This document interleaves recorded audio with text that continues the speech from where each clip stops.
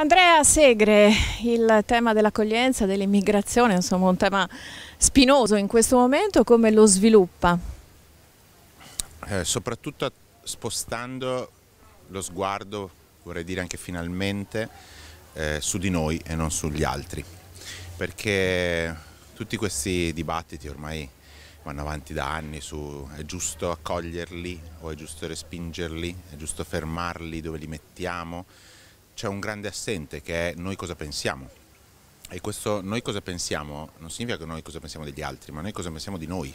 Noi cosa pensiamo se domani i nostri figli non possono andare dove hanno bisogno di andare.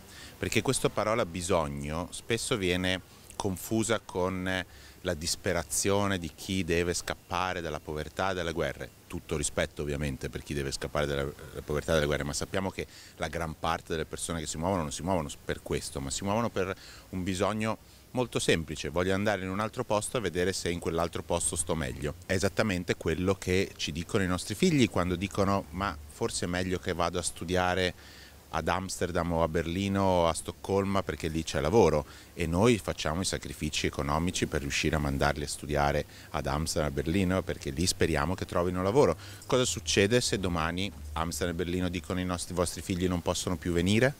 Da che parte stiamo? Questa è la domanda che ci dobbiamo porre. Da che parte stiamo tra chi ha bisogno e chi ha il potere di negare quel bisogno?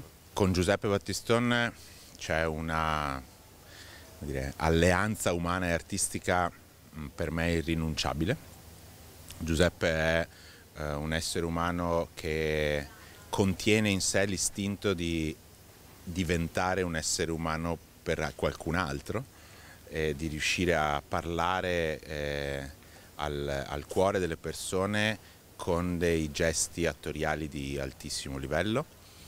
E a Giuseppe peraltro devo la eh, occasione e opportunità di aver conosciuto Paolo Piero Bonne, è stato lui che mi ha presentato Paolo quando abbiamo girato la, la prima neve, eh, è lui che eh, collabora con Paolo da molto tempo, hanno fatto uno spettacolo teatrale fondamentale nella storia del teatro italiano quest'anno che è la morte di Danton eh, di Martone come protagonisti, aver potuto unirli in questo film è stato un, un grande onore.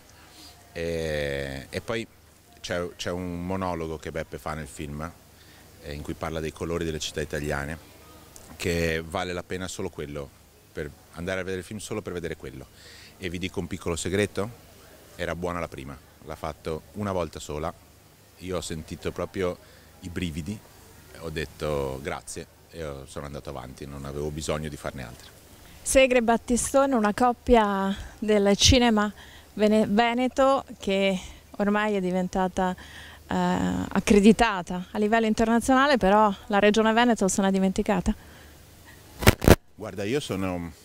mi, mi sembra quasi di rischiare di, di, sparare sulla Croce Rossa, cioè è, è, talmente, è stato talmente tanto goffo tutto quello che hanno fatto intorno a questo film che non, non, non, voglio aggiungere critica, cioè si autocriticano da soli nel momento in cui un assessore dice che si è dimenticato il film perché quel giorno non era in ufficio e non sapeva che nella brochure non c'era, beh che gli devo dire, cioè, c'è un'evidente carenza di competenza.